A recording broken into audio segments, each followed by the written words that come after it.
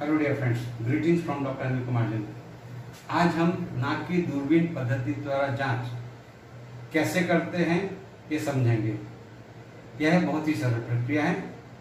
इस जाँच से पहले आपको लेटाकर आपके नाक में कुछ बूंदें दवाई की डाली जाएँगी। कई बार ये दवाई एक से ज़्यादा बार डालने की ज़रूरत पड़ सकती है। कुछ कुछ मरीजों में जाँच के पहले नाक में अनेस्थीसिया वाली पट्टियाँ भी रखने की ज़रूरत पड़ सकती है। जब ये दवाई नाक में रख देते हैं तो इससे नाक में थोड़ा सा अनेस्थीसिया का इफ़ेक्ट आ जाता है और नाक में देखने के लिए जगह बन जाती है। इसके बाद में एक नाक में जाँच करने वाली दूरबीन का उपयोग किया जाता है। घबराए नहीं। इस एंडोस्कोप या दूरबीन से आने वाली रोशनी है। ये गर्म नहीं है। इससे आपको कोई भी जलन नहीं होगी।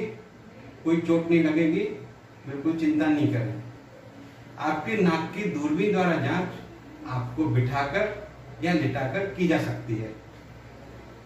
इस दूरबीन को बहुत ही धीमे से आपके नाक के अंदर जाने दिया जाएगा और आपके नाक के अंदर के जो भी भाग है, उसकी जाँच की जाएगी।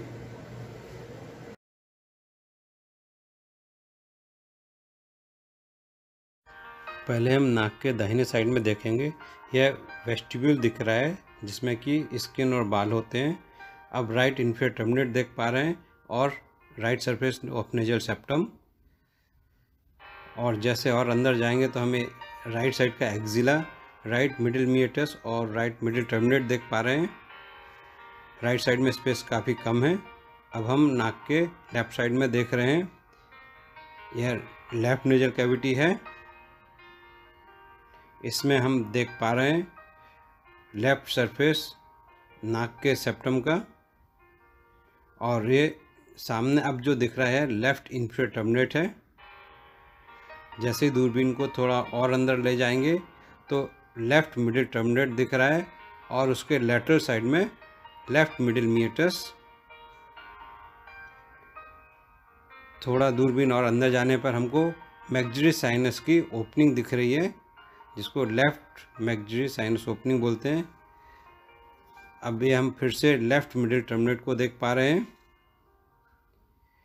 इसमें कुछ भी सिक्रिशंस या पॉलिप वगैरह नहीं दिख रहे हैं।